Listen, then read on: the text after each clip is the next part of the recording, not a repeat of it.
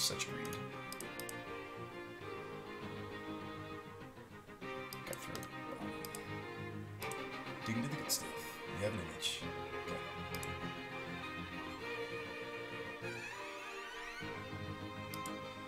Yeah, Gickman, the, the article did leak. A Benny Twin, no tier 1 is safe by this press and worry for Affinity. Yeah, it is a little worrisome. It is a little worrisome. So he bounced. He gave me back the birthing pod. He wants the lily. That's fine. Because I think birthing pod. Some of our draws can be quite good for pod. Alright, so woodland. Uh, he either has the counter or he doesn't. I kind of like just slam the Kokusho.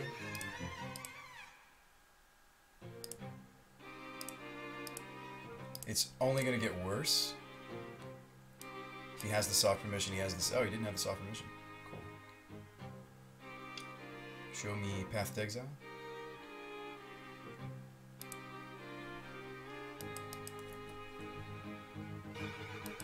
Definitely wish I had another sacrifice outlet. I mean, I could I could have technically potted this, but the hope is that he has to spend a removal on the, the Show. Again, he may, you know, switch the O-ring to the Kokusho now and give me back Lily. He's kind of like bouncing around this O-ring. Okay, so now he's going after the Kokusho. I maybe should have sacrificed the Kokusho. That's funny. He's just bouncing this O-ring all over the place, this guy. He, he doesn't know what he wants to answer. He's like, ah, I'll take the Kokusho now. It's just kind of funny. In fact, okay. That's pretty good. Um, Alright, so... Stagger Shock's not too bad.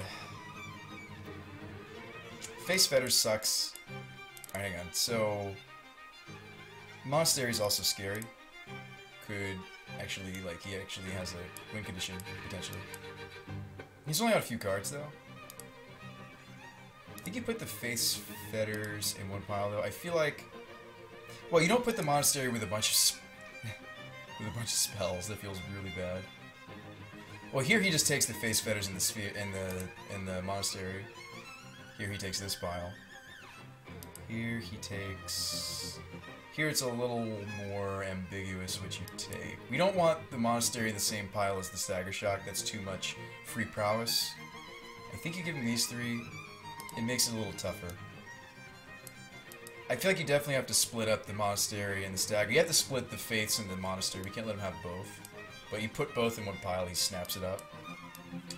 Um, it's This was not an easy pile. Like, there was a lot of gas spells, like Faiths and Monastery being... So he ended up taking the Monastery. That might be really good for us, it might be really bad for us. We're gonna find out. So here's Mentor. Yes, we know you can close games quite quick. So he's overreading the Kokusho. Okay. I don't have an instant speed uh, sack, so we honestly just have to let it go.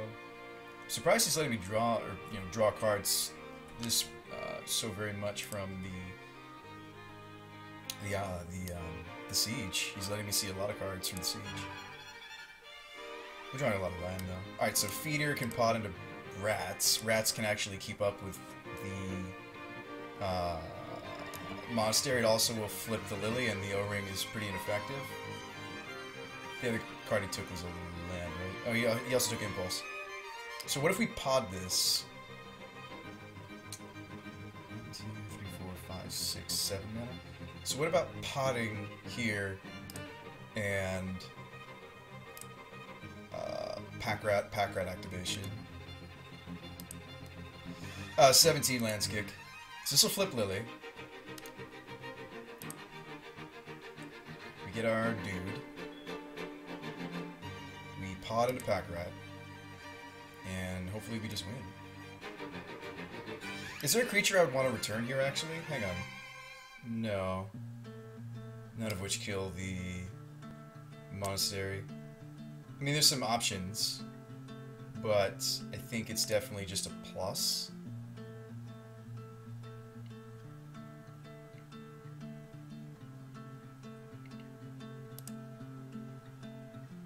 And then that's two rat activations. And it might be wrong. Well, it might have been wrong to. That's tough. That's a tough call. Alright, best bet. I mean, rats. Rats, in theory, in this format, could go wider than the unless he chains some some cantrips together, which is possible. This rat should go wider than the mentor in a shorter period of time, in theory. He's also close to the uh, Venser ultimate, so that's terrifying. We do have to get in a hit on this Venser. On the couch and still playing. Yeah, this is the last one. It's all good, Gig. Gig. Uh, 15 land.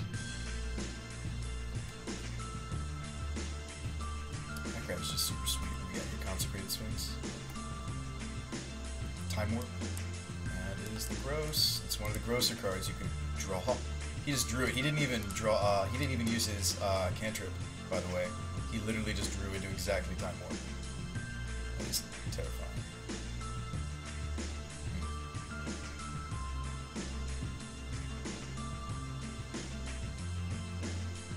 Can't. He can't swing with the mentor though, because I have two activations. Like he has to. He has to wait.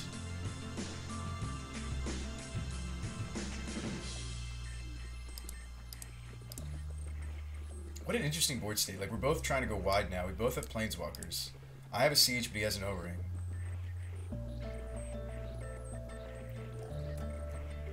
Oh yeah, Andy. Would you like to play that deck though? Oh, yeah, yeah, that gets in the emblem. We're just toast. Yeah. Yeah. That's right, the Time Warp was clutch there because we didn't have a burn spell to hit the Venser. Oh, no. Yeah. Okay. Well, I can see why this guy's in the finals. So he gets to Venser something. Hopefully... I think he's going after the Outpost. We'll see what he goes after with the Venser. He went after the Lily. It's actually not so bad. I mean, lose, losing, just straight up losing permanence for every spell he casts now is going to brutalize us. This Impulse will find, undoubtedly, another spell to probably get the Outpost as well. The hope is that he starts to draw land, like we have been. Now we can we can pod one of these rats into the spe uh, Spectre, and the Spectre pods into a removal for the Mentor, but it might just be too slow. I wish there was a three mana answer. We could find Bolt, you know, there's, there's options. So Ral Zarek. Okay, let's see what this Venser triggers. This is pretty awesome. Let's go. I mean, you have to admit. Alright, so what's he going after the outpost? He's going after Rat? Okay.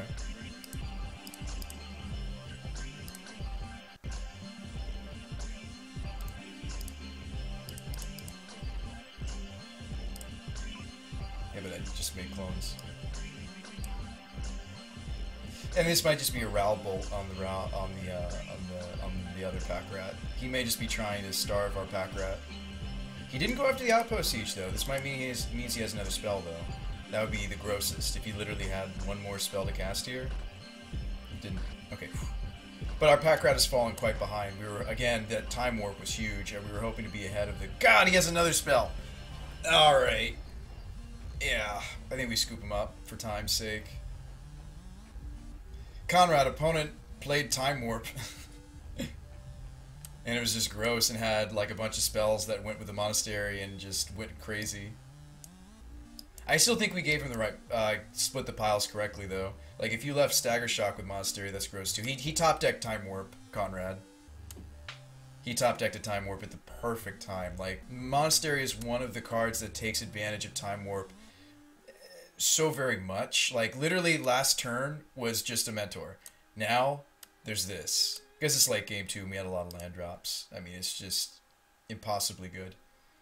I don't know what kind of top decks we could possibly have. Like we have to answer so much. Um this chump block here. Like there's three walkers, an emblem, and a and a I don't even know. We got a Hordeling Outburst and a Shriekmaw. Too late though. I mean, even if I even if I kill the monastery and go wide with the outburst, he'd have to draw Stark nothing for the next few turns. But Jace is not going to let that happen. We'll play it out there. We're not too far behind on time on this guy, so that's reason enough for me. We do have an active birthing pod. We got outs. So one, two, three, four, five. Or do we need a pod immediately? Our six drop already happened, so I think you just shriek. He has no cards in hand. Oh, did I really just do that? Oh my god, I did it again. I wanted to keep the Shriekmaw. No! Well, we were gonna keep it. I tapped I tapped the mana for it, but it thinks I didn't want to keep it. We we needed that creature to stay. Although he probably just would Rowlbolt the Shriekmaw. We probably wouldn't have kept like unless I mean, it's also possible he just hits another non-creature spell and or any spell, excuse me, it's any spell. I, I just there's no way you win this. We could play it out because the clocks are somewhat close. It is going to take him some time to kill us. But not much time.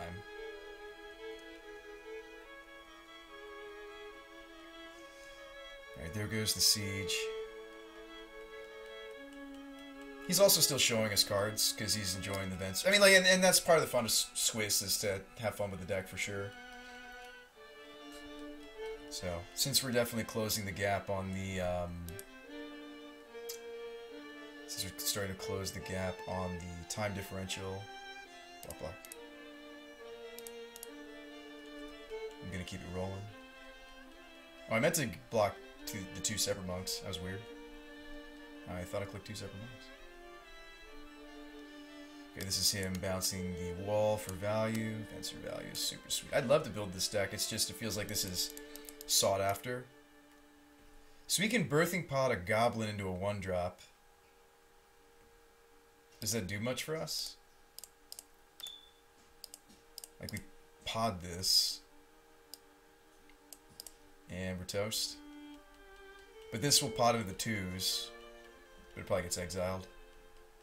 His deck is sweet too, Sarkir. I mean, I think our deck's cool as well.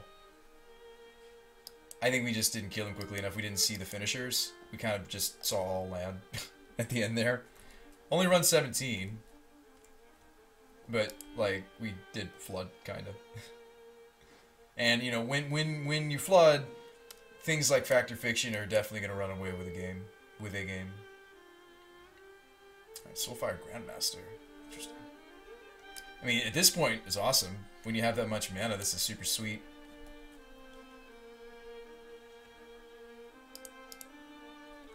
Just doing a lot of F6ing. So we definitely closed the time gap. It is indeed a strong deck.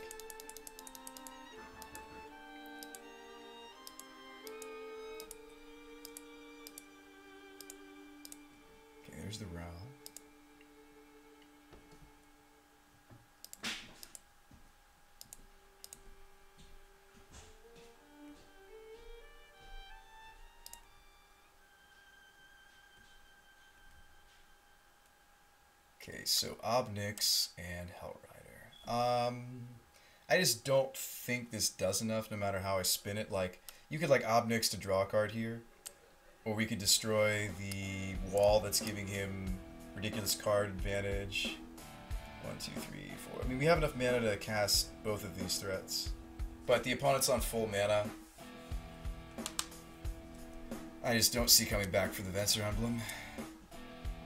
I don't really want to show him the Ob Nixilis or the Hellrider.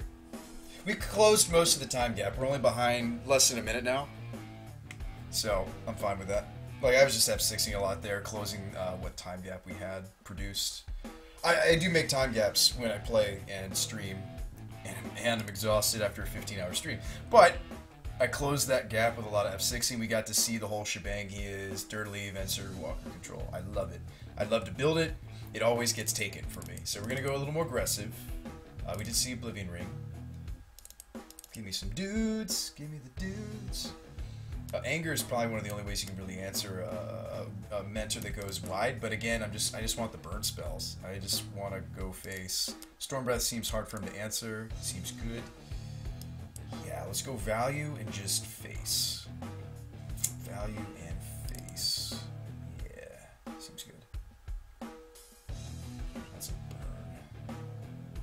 I don't even know if I want some of the grindier stuff like Lily, even though Lily's sweet. Potentially super sweet. No, we keep the Lily. What am I cutting down? Now the Gorehouse is wrong. We'll get that. Bushwhacker might even be wrong, although if we can get a bunch of our tokens, it's game ending. The problem is, is we only have so many token generators.